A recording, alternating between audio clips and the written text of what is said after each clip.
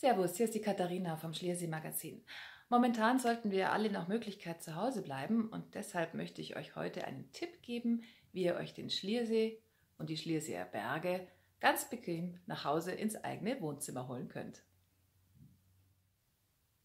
Die Autorin Susanne Rössner hat schon einige Bücher veröffentlicht und zwei davon spielen am Schliersee und am Spitzingsee. Es sind zwei Liebesromane. Der eine heißt Nur einen Sommer lang und der andere, der Nachfolgeband, heißt Schlittenfahrt ins Glück.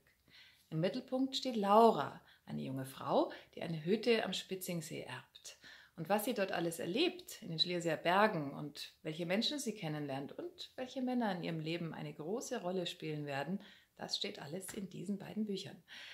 Susanne Rössner hat einen sehr leichten, angenehmen, humorigen Erzählstil und ähm, es wird nicht langweilig in diesen beiden Werken, das kann ich euch versprechen.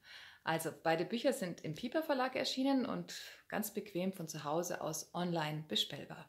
Ich wünsche euch viel Spaß bei der Lektüre, passt auf euch auf und bleibt gesund.